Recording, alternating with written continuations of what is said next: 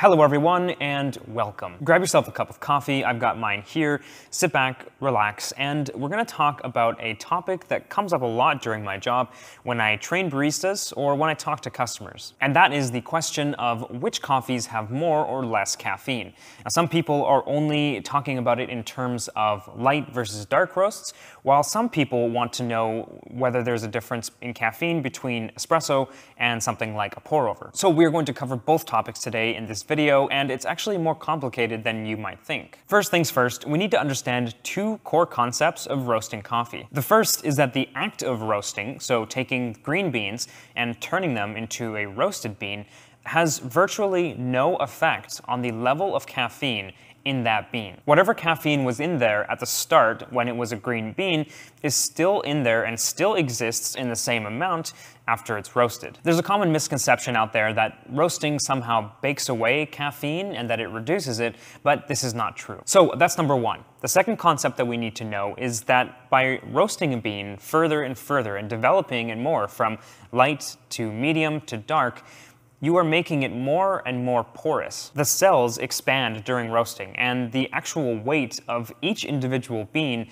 gets lighter as you roast darker. Just to drive this point home, if you were to take the same beans and roast it really light, and then roast another batch really dark, each individual bean will weigh more as a light roast than it will a dark roast. So now that we have each of these pieces of information, this is where it starts to get really interesting, where we actually combine them. Because if the caffeine doesn't change per individual bean, but you need more beans for a dark roast to get the same weight as a light roast, then as long as you are weighing your coffee for brewing, the dark roast will have more caffeine because you are using more individual beans. It's hard to show an example here because at this roastery, we don't do a light and a dark roast of the same bean, but I'll show you something close. So here I've got a pretty light roasted coffee, uh, one getting a little bit more to a medium, and one that is very dark. Um, this one you can see a lot of the oils on it, um, a very, very dark roast. So we don't actually do roasts like this normally at our roastery.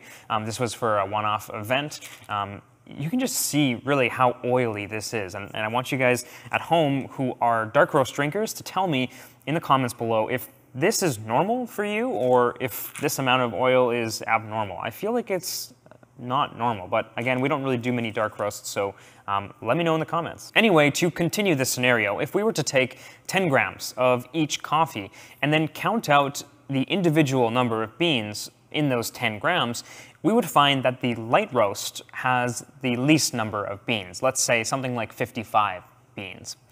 The medium, more closer to medium roast, might have 60 beans. Uh, and the 10 grams of the dark roast might contain something like 65 beans or even 70 beans. So you can easily see how the dark roast might have more caffeine content by about 10 to 15 beans. But let's be careful here, because remember, this is only if you weigh your coffee. The whole game changes if you don't weigh it. If you use a scoop or some other volumetric measurement, then if the sizes of the beans are relatively similar between a light roast and a dark roast, you're probably going to end up scooping a similar amount of beans. And that would lead us to nearly identical amounts of caffeine. So this is why I say that it's more complicated than people realize. And this is only comparing two of the same bean, of a light roast and a dark roast of the same coffee. Imagine trying to compare uh, two different coffees of, from different countries with different processing methods. And it was going to be much, much harder to get an accurate guess of differing ca caffeine content um, without scientific tools and analysis. But as an average consumer who has no access to those tools and just wants a simple cup of coffee when I walk into a cafe, I think that what we've covered here is pretty good. So why don't we move on here to the differences in coffee brewing. And the previous two concepts that we discussed will actually help us here as well. But there is one additional concept that is useful, which is that during extraction, Caffeine is a compound that is extracted and dissolved into the water fairly early on in the process. This is helpful for us because it means that even if we've had a bad extraction, we've still likely taken most, if not all, of the caffeine that was available to us. So comparing between brewing methods is actually a fair thing to do without too many complications. Let's start with an easy example, using the exact same bean, roasted to a medium level, and used to brew a pour-over, versus an espresso. In this case, it really comes down to how much coffee you're using per serving, or more specifically, how many individual beans. At our cafe, we use 18 grams of coffee for our espresso and for our pour overs.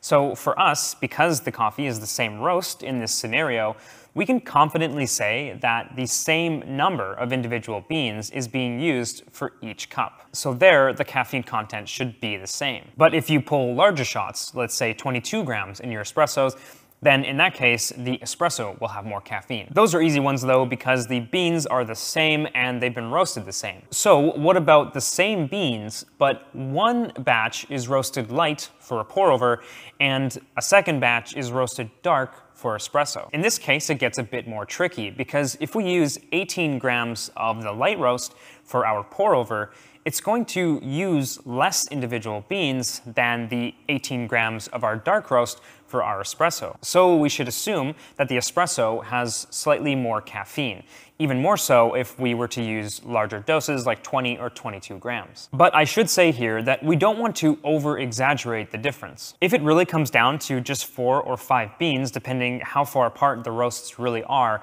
then while we can technically say that the dark roasts use more beans and has more caffeine, the amount might be very, very small, and it might not actually be noticeable by the average person. So just be careful how much we're actually stretching this difference. One more example here, which is kind of interesting, is what if we used more coffee for our pour over than our espresso?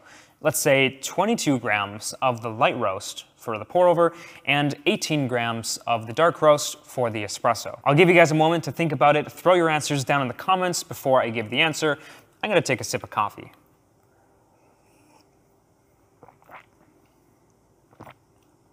Thought about it? Well, we would probably say they're similar to each other in terms of caffeine content, because while the light roast needs less beans, you're using more weight. And while the dark roast would need more beans, you're using less weight than the pour over. So all in all, they're probably pretty similar. So I hope this is making sense and becoming easier to play these scenarios through in your mind. This is generally how I assess the situations at our cafes and answer the questions of customers when they ask about caffeine content. And one last note for you caffeine sensitive people who clicked on this video hoping to find a solution to lower the caffeine content of your caffeinated coffee. You can actually control the amount of caffeine that goes into your cup just by tweaking some of your technique when you're doing a pour over, like a V60 or a Kalita Wave, anything that percolates down. I've done one video on this for the V60, and I'll link it up here if you haven't watched it. It's not my original idea, but there is a brewing method where you can pull out uh, a good chunk of the caffeine at the beginning of the pour over.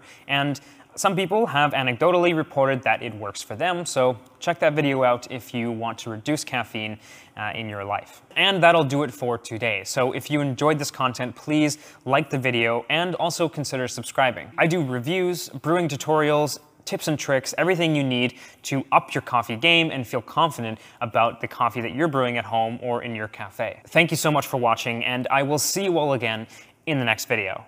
Have a great day.